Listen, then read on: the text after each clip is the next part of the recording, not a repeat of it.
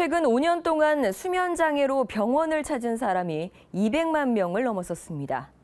여성과 50대 환자가 가장 많았는데 수면제 복용도 덩달아 늘고 있습니다. 보도에 최효진 기자입니다.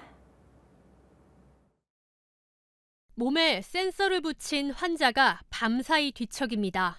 병원에서 자며 뇌파, 혈압, 심전도 등 몸의 변화를 살피고 수면 장애의 원인을 밝히는 수면다원 검사입니다. 새벽까지 잠 못 드는 환자들은 일상생활이 어려울 지경입니다. 잠을 또 들었다고 그래도 어, 도중에 한 두세 차례쯤 깨서 또 잠시 잠이 깨서 또 애먹일 때도 있고 깊은 잠을 이루지를 못해요.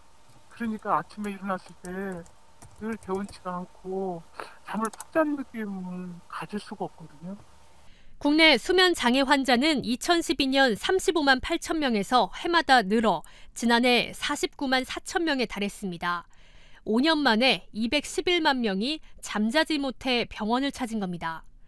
여성이 남성보다 39만여 명 많았고 50대 환자가 전체의 21%로 가장 많았습니다. 20, 30대 환자도 지난해 8만 명을 넘기는 등 최근 5년간 30% 이상 크게 늘었습니다. 수면제 복용 환자도 지난 2012년 375만 명에서 꾸준히 증가세를 보여 지난해 400만 명에 가까웠습니다. 전문의들은 수면 장애를 단순 피로로 여기다 질병으로 번질 수 있다며 잠들기 전 신경 안정에 도움이 되는 따뜻한 우유를 마시고 평소 생선, 과일, 채소를 자주 먹으라고 권합니다. 또 수면 장애가 3주 이상 이어지면 병원에 정확한 진단이 필요하다고 강조했습니다. KTV 최효진입니다.